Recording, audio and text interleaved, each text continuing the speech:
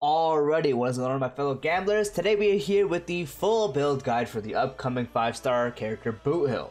So Boothill will be releasing along with the Fu Xuan rerun at the second half of 2.2, right after the Robin and Topaz banner. So just like my other build guides, this video will be going over Boothill's kit, Boothill's Eidolons, the best light cones you want to use, the best relics, and we'll also have disclaimers because there's some stuff you should and shouldn't do for building Boothill right now. And that also does apply to when 2.2 releases. So definitely make sure you do watch this video throughout the entire video length. So before I get into the video, drop a like, drop a sub, hit the bell icon for more videos like this. I already got a build guide for Robin you can check out, Topaz you can check out. You're watching Boothill, and I soon will have one for Fu Xuan. So stay tuned for that and let's get straight into the video. So Boothill is a physical character following the path of Hunt. His basic attack deals physical damage equal to 100% of Boothill's attack to a single target enemy. And now for his skill, forces Boothill and a single target enemy into the standoff state. Boothill's basic attack gets enhanced and he cannot use the skill, lasting for 2 turns. This duration reduces by 1 at the start of Boothill's every turn. The enemy target in standoff becomes taunted. When this enemy target slash Boothill gets attacked by the other party in standoff, the damage they receive increases by 30% slash 15%. After this target is defeated or becomes weakness broken, Boothill gains one stack of Pocket Trick Shot, then dispels the standoff. This skill cannot regenerate energy. After using the skill, the current turn does not end.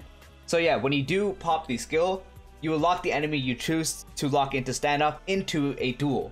Meaning you can only attack them and they can only attack you. You still will be prone to be taking attacks from other people, but later you'll see he has a thing to reduce that. Now for his enhanced basic attack, deals physical damage equal to 220% of Boothill's attack to a single target enemy. The enhanced basic attack cannot recover skill points and can only target the enemy that is in standoff. For his ultimate, applies physical weakness to a single target enemy lasting for 2 turns. Deals physical damage equal to 400% of Boothill's attack to the target and delays their action by 40%. So yes, you can implant physical weakness onto a target that doesn't have it, which makes him that much more powerful. And after his talent, each stack of Pocket Trick Shot increases the enhanced basic attack's toughness reduction by 50%, stacking up to 3 times. If the target is weakness broken when the enhanced basic attack is used, based on the number of Pocket Trick Shot stacks, deals break damage to this target equal to 70% slash 120% slash 170% of Boothill's physical break damage. The max toughness taken into account for this damage cannot exceed 16 times the base toughness reduction of the basic deck scope for Spurs. After winning the battle, Boothill can retain Pocket Trick Shot for the next battle. For his technique, after using the technique, when casting the skill for the first time on the next battle, applies the same physical weakness to the target as the one induced by the ultimate last turns. So yes, with this technique active, you can indeed apply the physical weakness, the same one that the alt does for two turns, by using the skill for the first time. Now for his bonus traces, his first one, when in standoff and gaining pocket trick shot, regenerates 10 energy. Can also trigger this effect when gaining pocket trick shot stacks that exceed the max limit. Second one reduces the damage this character receives from targets that are not in the standoff by 30%. As I mentioned previously, anyone that is not in standoff that attacks Boothill will deal 30% reduced damage. And now for his actually insane third trace, increases the character's crit rate slash crit damage by an amount equal to 10% slash 50% of break effect, up to a max increase of 30% slash 150%. So just by break effect alone, you are already going to be able to shred through people's bars, but they reward you for giving him a lot of break effect because you can get up to 30% crit and 150% crit damage, which is actually insane. Now for his Eidolons, his first one, when the battle starts, obtains one stack of Pocket Trick Shot. When Boothill deals damage, ignores 16% of the target enemy's defense. His second Eidolon, when in the standoff and gaining Pocket Trick Shot, recovers one skill point and increases break effect by 30% lasting 2 turns. Can also trigger this effect when gaining pocket trick shots that exceed the max limit, but cannot trigger repeatedly within one turn. His fourth Eidolon, when the enemy target in standoff is attacked by Boothill, the damage they receive additionally increases by 12%. When Boothill is attacked by the enemy target in the standoff, the effect of him receiving increased damage is offset by 12%. And for his sixth Eidolon, when triggering the talent's break damage, additionally deals break damage to the target equal to 40% of the original damage multiplier, and additionally deals break damage to adjacent targets equal to 70% of the original damage multiplier, so it does sort of make him this AoE now. Now moving on to his best light cones. So sadly, as Boothill is this strange character for Hunt, he is a break effect character. If you do look at the list, there really is no light cones that really benefit him, besides his signature one. So for the most part, the light cones you get are usable, but nowhere near to be considered super, super good for him. But I will probably say there eventually will probably be a future light cone that will be released summonable or maybe free. That will be for Hunt that is probably Break Effect related for Boothill. But for now, we don't really got that many options, but I'm going to give you the options you can use. So obviously, as I did mention, his best light cone will be his signature light cone. Because what it does is it increases the wear's break effect by 60%, so yes, a 60% stat stick is already really, really good for him. The break damage dealt by this wear ignores 20% of target's defense, so even more defense ignoring on top of that break effect stat stick. When the wear's break effect in battle is at 150% or greater, which is going to be really easy with him, it increases their speed by 12%. So this light cone is perfect for him, giving him speed really easily by just 150% or higher break effect. Very easy to get. Ignoring 20% of target's defense is really good because ignoring defense in this game is actually really, really good. And on top of that, you're getting a 60% stat stick to break effect, which is actually insane. That is a very, very high amount. You combine this light cone with the break effect he already gets from his like trace tree, and you're already at like a 90-ish percent. So it's a very, very, very good light cone. This is going to be his best one. Obviously, because it is a signature one, it kind of had to make it tailored towards him. But now for some other options, one you can use sort of situationally is Swordplay. Since it's a 4 star, I will display it at R5. For each time the wearer hits the same target, damage dealt increases by 16%, stacking up to 5 times. This effect will be dispelled when the wearer changes targets. You can sort of see why, because you do lock an enemy into standoff, and then when you do hit them repeatedly, his Fanning the Hammer is multiple hits, so it is very easy to stack up this light cone. And at max stacks, you're going to be dealing a whopping 80% damage dealt with this light cone, which is really, really good. And since you are locking him into a standoff, this is really good light cone. Especially for elite enemies slash bosses, that's where this light cone is going to shine. But if you are sort of killing smaller enemies with Boothill, it does sort of lose value because you'll kill them, you'll switch, you'll lose the damage value, you'll kill the other one, you'll switch, you'll lose the damage value. But if you can use this light cone properly, it is very good. Another option you can use on him is the Herta light Lycone for a hunt. I'm going to display this at R5 as well because it is free. What it does is increases the wearer's crit rate by 16% and their crit rate against enemies with HP less than or equal to 50% by an extra 16%. When the wearer defeats an enemy, their attack is increased by 40% for two turns.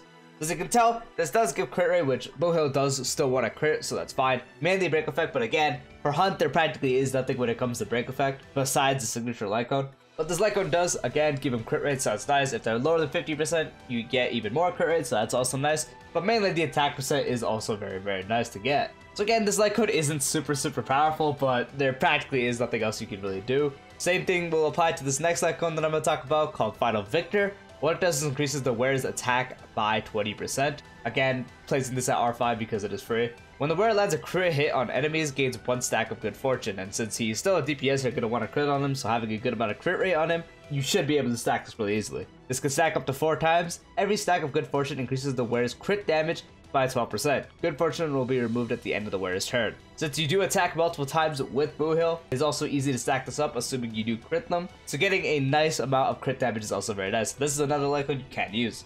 And then a sort of other weird option you can actually use is the subscribe for more light cone. What does increases the damage of the wearer's basic attack and skill by 48%. This effect increases by an extra 48% when the wearer's current energy reaches its max level. Sadly, for the most part, you will be ignoring the second extra 48% because for the most part, you do want to be using his ultimate because his ultimate hits really hard, it implants physical weakness, and it delays the enemy's action. So you don't want to save it by any means, but there are times where you'll save it for the next wave or something. So the little times you do do it will deal even more damage, but it's mainly because you get a 48% increase in damage for your basic attack. And since he's using enhanced basic attack, it applies to that. Not the greatest option, probably on the weaker side of all the ones I mentioned, but it is an option you can use.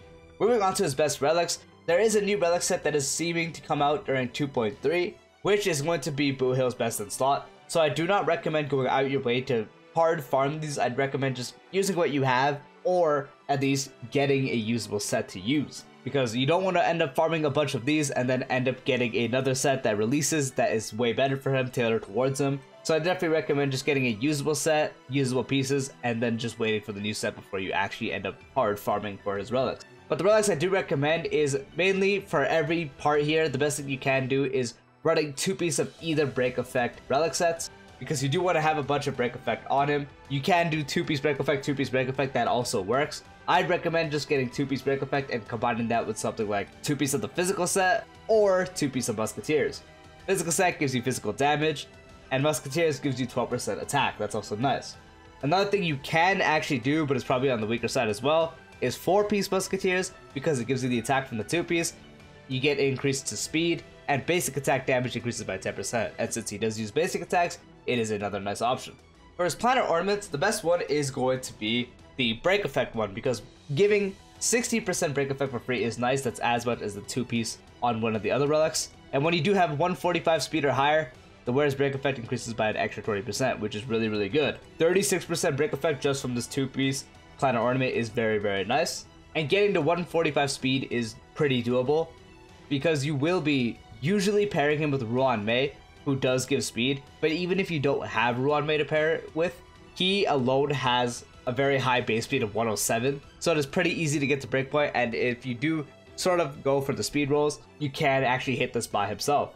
Another option you can do is Glamoth, because I mentioned you are going to be running him with Ruan Mei, so getting him to a higher amount of speed is going to be really nice.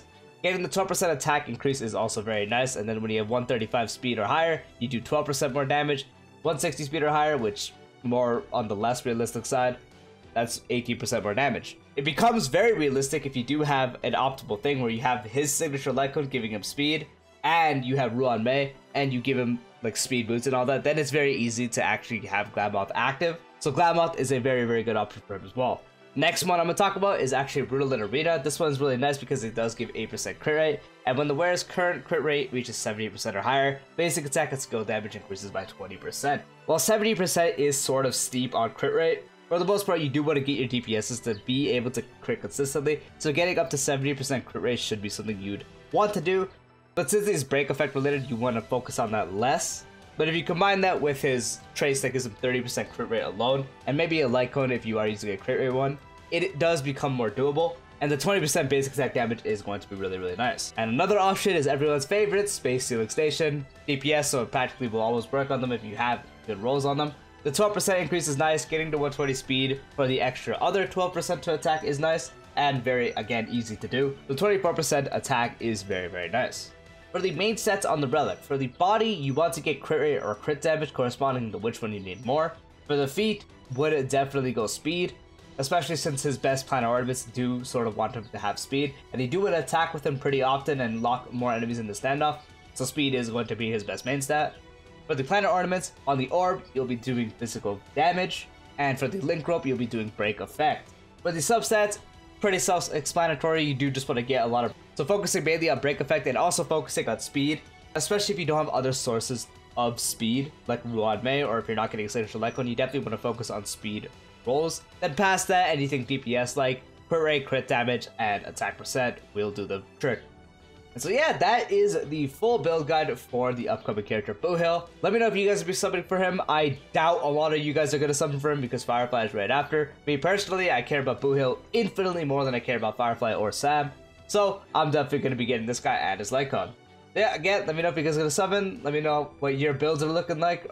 And yeah, peace out.